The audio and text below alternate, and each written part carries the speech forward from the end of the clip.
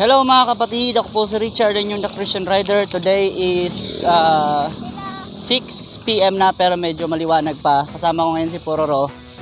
Nagbabike siya mga kapatid. Ako naman ay uh, magja-jogging. Punta kami dyan sa may City Hall.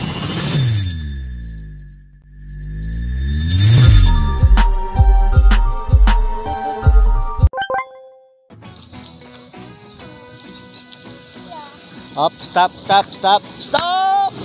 Ayan, ito yung City Hall tuwing hapon. Ganda ng sunset, oh. Ito yung bagong plaza. Hindi pa to natapos mga kapatid, pero maganda na. Ito pa kaya ako matapos to, no? Ayan, oh. Ayan, dyan yung fountain, yung pabilog na yan. Tapos, ah, yung pwedeng pagjagingan na mini oval. Ayun. Dyan tayo ngayon mag jogging and then sementado na rin yung daanan papunta mga kapatid sa mismong city hall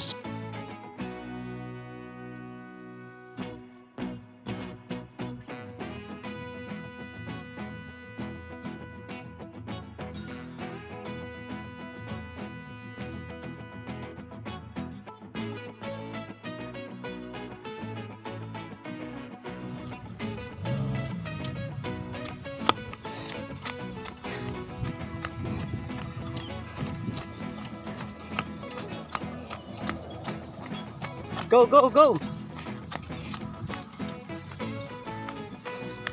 Woohoo!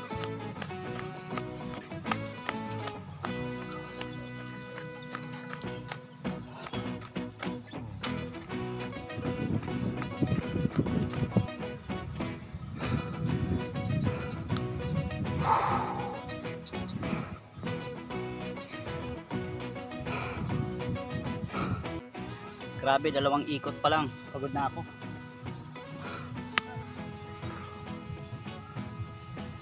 Okay, sa mga taga Sipalay City, pwede po makapag-jogging dito tuwing umaga at hapon. Yan nga lang, hindi pa siya natapos. So, need pa siyang lagyan mga kapatid ng ilaw paligid, sa paligid. So, kapag malalagyan na to ng ilaw, gumiganda na nito. Ito, ganito yung semento niya paikot yan hanggang dun mga kapatid. Paikot papunta dito. Tatlong ikot tatlong ikot. Pagod na agad. Dahil sino yawan dagan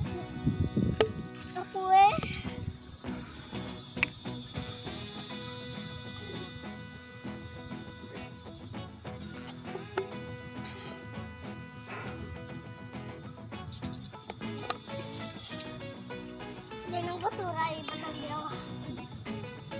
need ko na kasi mag jogging mga kapatid kasi lumalaki na yung tiyan ko.